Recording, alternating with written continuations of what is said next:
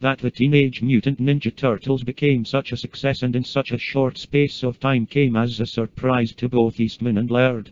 Laird has stated on several occasions that in Laird's own words, Starting the Turtles was a goof. It was not anything we envisioned directing our lives in any way, shape, or form. It was like, hey, this looks like fun. Let's self-publish it.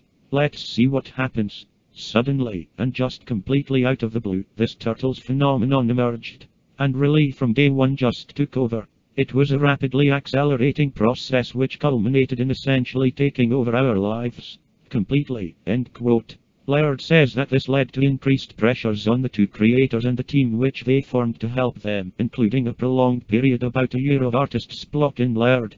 The incredible growth and complexity of the business that sprang up around their instantly successful Turtles properties led to Laird suddenly discovering to his horror that he no longer enjoyed drawing. It was a real shock and to him, because if he ever had anything that he could rely on, it was that he loved to draw. Laird and Eastman's creations went on to become a popular cultural phenomenon, forcing both of them to take regular sabbaticals from the comic to deal with the day-to-day pressures of running what had become a multimedia franchise. Eastman sold his share of the franchise, with the exception of a small continuing income participation, to Laird and the Mirage Group on June 1, 2000.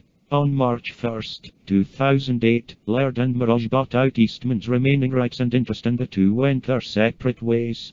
Concerning Eastman's departure, Laird stated his belief that Eastman was just tired of it. On October 19, 2009, Laird sold the franchise to Viacom, the parent company of Nickelodeon, but still retains the rights to create and publish up to 18 black and white comics based on the franchise per year.